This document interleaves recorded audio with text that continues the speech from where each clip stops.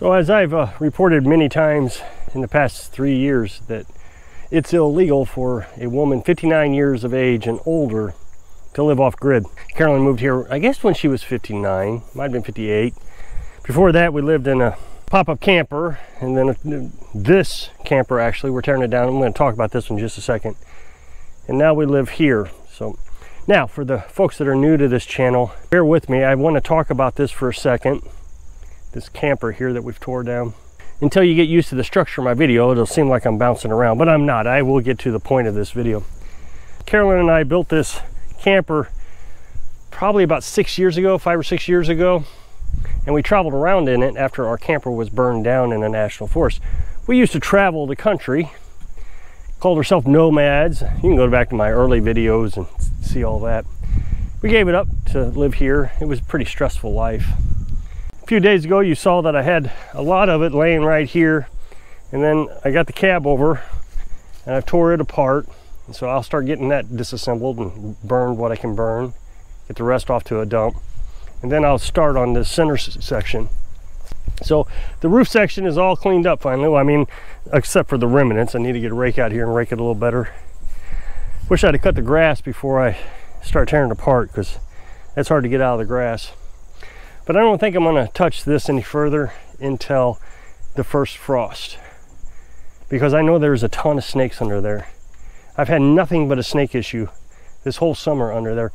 Mostly black snakes, but I still don't want to walk up on them. I'm glad it's getting done because it was blocking the sun to the solar panels. I knew that would eventually happen this fall. That solar panel there on the edge was starting to get blocked pretty heavily by the camper in the morning. We moved these up here to get a few more hours of sunlight. It was a strategic move, but I knew the camper was going to have to be tore down. And it was in bad shape. So kind of brings me to yesterday. Yesterday we were pretty cloudy and I didn't know if we'd get enough sun to charge batteries. So what I did was I ran the generator when I got up for a half hour just to give us a little bit of electricity in the batteries to get us from 5 a.m. to 9 a.m., 9.30 a.m. That's when the sun comes up. But it was really cloudy, so I went ahead and ran it. And it did fine, but by 11 o'clock, we were down to 12.1 again. That was pretty low. You don't want to get your batteries lower than 12.3. So I started it and I thought I'd run it for another half hour. My goal was to get us into the evening time, then I was going to run the generator for four hours, which is what it takes to charge batteries. I didn't have the generator running for 10 minutes and sun kind of peaked out just a little bit. Got us about 20 amps, which is more than enough to get the batteries charged. So from 11 to 4, 5, 6, somewhere around there, the batteries got charged. Since we've improved the solar panels with that extra charge controller and getting two extra solar panels, it's it, this is just phenomenal how much electric we're making. But I didn't fill the water for the last two days because of the cloudiness. So today I was able to fill the tank back up, the IBC tank, and I don't know. I, I don't think we're going to have any troubles with solar panels from this point forward. I've done everything I can to fail as a test, and they just won't fail. I got to be careful. I would, there was no way I was going to be able to run the well yesterday, but we got plenty of water in the IBC tank, 275 gallons, to get us through a series of days. And I can run the well off the solar panels on a day like this, where it's nice and clear from, well, depending on the time of year, anywhere from 9.30, 10 o'clock to about 2 o'clock. And then I want to shut it off to make sure I get enough sunlight to charge batteries so I can get through the evening, the nighttime, to run the freezer. Carolyn's responsibilities around here are pretty pretty light in my opinion. I mean, she tries everything she can to keep busy. For example, right now, she is working on the walnuts. This is a walnut tree, and this produces walnuts about every two years. So two years ago, we got some walnuts, but this year we're getting a ton more walnuts than we did two years ago. I mean, they're just everywhere. So she's been doing a lot of reading. Last time we did it, we put ourselves through too much work. So she's letting them sit on this ground until they rot. And now she's got walnuts. And she is literally doing this with her foot. Now, she is taking them up on the porch and cleaning them and different things, but you don't have to. They do stain your fingers pretty bad. This is just something she's doing to keep busy. We got enough now that we don't have to worry about the squirrels outdoing us. We got this tree here, and then we got a massive tree down there by the creek in the woods. It's huge. I haven't even went down there to check. She cooks two meals a day. In the morning, she cooks bacon and eggs, and then something for supper about three o'clock. The biggest chore I think she has is doing laundry. People just absolutely hate the idea of doing laundry by hand. But I, she's got her sinks here. I got to fill this one. Wasn't sure we was going to have enough sun today, so I didn't fill it when I was filling the water tank. Turned out we did, but I'll fill it tomorrow. She just said she didn't need it. She used to cook on the back porch, and that was a big gripe from a lot of people. She's just too old. She shouldn't be cooking on the back porch. She had this Coleman camp stove that she cooked on. We I still make coffee on it every day, twice a day. But now we got the camper. She's been cooking in there. But she does a lot of things in here now. Now in the wintertime, she does laundry in the house using a bucket and a plunger instead of the sink and the plunger. During the winter, she will sprout sunflower seeds. It's not really a big deal. She has different methods, but essentially all you gotta do with sprouting sunflower seeds is put it in some water, next day drain the water, and then keep them moist for three days, and they sprout. Then she turns 50 pound bag of sunflower seeds into a 250 pounds of sunflower seeds. That gives the chickens plenty of protein through the winter. Another thing she does, and this is just to save money. This isn't something she has to do. I keep telling her she doesn't have to do it, but this is how miserly she is. She has a grain mill with a hand crank on it. And so we buy whole corn for the chickens in the wintertime to help keep them warm because corn has sugar in it. When your body burns sugar, it heats your body up. It also fattens you up, so it helps keep the chickens warm in the winter. Well, you can buy crack corn, but it's more expensive. So she buys whole corn and grinds it up. But again, that's something she wants to do. It's not something she has to do. This is a real relaxing life. And that's why I struggle with with this being illegal in, in mindsets of many people, that it's abuse. Then we have the carnivorous diet. And, and this is just phenomenal to me. Carolyn and I have never been healthier. We're losing weight, gaining muscle, more active. I'm doing push-ups again. I was watching my doctor, for example, on YouTube, and he said something like 80% of the country or something like that can't do 10 push-ups. And I thought, whoa, I can do 10 push-ups. And I get down and I'm one, two, oh, three. so I've been doing push-ups and it's been like four days and now I can whip right through push-ups, uh, the 10. So I don't know, I'll give it a week or so because my shoulder's obviously pretty sore. So I'll increase the number of push-ups maybe next week or the week after. I ran up the hill the other day. I was absolutely impressed with myself. I ran up the hill. I just don't think we're that unhealthy. But then apparently you have to eat sugar because that's what everybody wants us to eat. They want us to eat carbs. You need to have a normal diet like everybody else. Everybody else is eating processed foods made in a factory that was invented in the 20s, 30s, 40s, you know, th that time frame. Kellogg cereal, processed foods.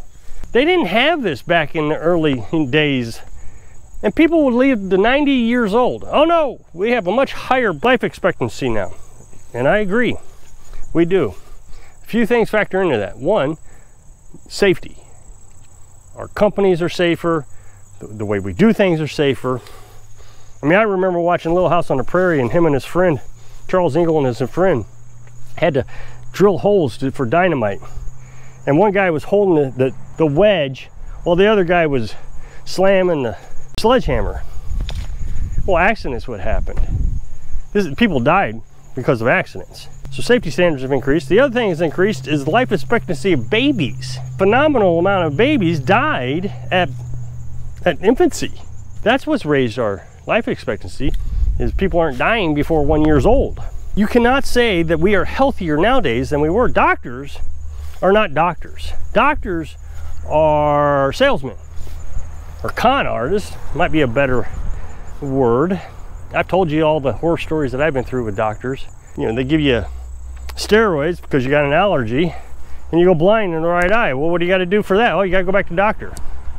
Well, I've been working on my eye and I'm getting better. I, can, I know I'm getting better. I don't know if I ever get 100%, but I am better. Better than I was. I can see things. Look, leaf. Doctors are in it for the money. We want to keep you sick so you keep coming back. And the only thing that we as the patient want to do is just feel better. But there's a lot to say for natural remedies. Now, I'm not going to sit here and tell you what the natural remedies we use for things because YouTube has decided that, that we can't do that on YouTube anymore. So there's another industry protecting doctors.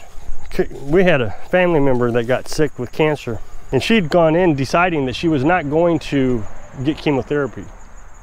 Well, the doctor talked her into it. $8,000 treatment, several treatments a week for several weeks. Well, it didn't help her. The next year, she got sick again. They said, well, we can't do anything to extend your life, but we can give you more chemo. I mean, that was just a money statement there. That's all that was. I, give me some more money. I, I, so I just have no faith in doctors. I don't go to doctors. The only reason I would go to a doctor is to maybe get an x-ray or a, a scan of some sort to see if there's something wrong with me. And then I'm going to treat myself. Well, to prove it, the other night Carolyn got pretty sick and I wasn't sure what it was. She wasn't sure what it was, but she was having. I mean, I'm not going to get into the, the symptoms or what it is, but it was concerning. So this was about 11 o'clock. I got went to bed about 8:30, and she was tossing and turning. Well, 11:30 or so, I get out of bed, put my shoes on. I said, "Let's. Uh, I'm going to take you to the hospital." She just could not spend the time to get dressed because of the sickness. So uh, she said, just call an ambulance. Wow, that's incredible. So I've been with Carolyn almost 10 years. This coming year, this nine years now. So next year will be 10 years. And she has not once went to the doctor. So when she said, call an ambulance, I, I, I knew there was something wrong. So called an ambulance and I followed her in. Man, the deer were incredible. They were everywhere. I didn't think I was going to make it. I mean, just everywhere. So I drove slow. Plus, I don't like driving at night too much anymore because of my right eye. So I put an eye patch on my right eye. So if any head-on lights or overhead lights hit my eye, it wouldn't throw me off. But it does severely, when I do that, mess up my depth perception. So I was just driving slow. I was driving about 45 miles an hour. As a matter of fact, I was driving so slow, cop came up behind me and was just on my tail. I mean, just as close as he could be. Finally, he flashes his headlights. I didn't know if he needed something or if he was pulling me over. I mean, he didn't have any emergency lights, but I was pretty sure it was a cop. So the next gravel road, there was no shoulders on this road. I whip in and he zooms on by me I guess he was just aggravated wanting to get home or whatever. So I get to the emergency room. And emergency room is not anything I would consider a place of an emergency. They're not in a hurry to do anything. Checks on her and says, ah, probably nothing. So, I mean, he's not interested in helping her at all. But he orders a, a scan. This takes hours. I mean, I get there at midnight. We didn't leave until five. It, it took forever. The thing is, is when I asked the nurse, is something wrong? Something holding us up? She said, no, no, we're just waiting on the lab. Oh, by the way, so this was like several hours. We need to get a urine sample. So she didn't do it right away. She did it, she waited. Get a urine sample. How long is that going to take? Oh, it could take an hour. Why didn't you do this when she came in? So, I mean, they're just not in a hurry. I'm exhausted, but that's okay. I hang in there. And he tells her what the problem is. And I think, oh, okay, that makes sense. I get it now. I've actually had the same problem she's got. And I cured myself. I mean, I do not have this problem anymore. It, it takes a while to clear it up naturally. I, I don't even remember when the symptoms went away. I'm thinking, hey, this is great. I'm on Google as soon as he says it, making sure what I think we need to do is, is correct. Yep, it's all correct.